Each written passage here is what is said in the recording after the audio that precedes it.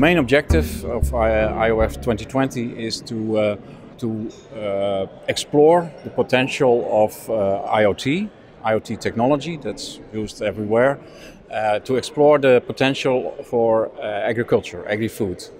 And we, we, have, we are facing quite some challenges in agri-food. We have for instance, we have to feed the world in 2050 with double population, half of the resources.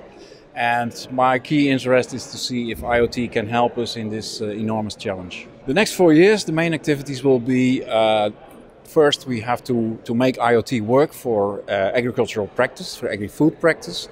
And then we have to, uh, we call it building the ecosystem so it gets deployed in many more uh, areas and cases. So we have to expand and we have to take care that, uh, that our efforts have real impact in the agri-food community. I think IOF uh, 2020 can contribute to the competitiveness of the EU agri-food uh, system by uh, reducing the cost, being more efficient with the, the resources. And I also think there are a lot of opportunities to, to bring up better quality in the, in the, in the food production.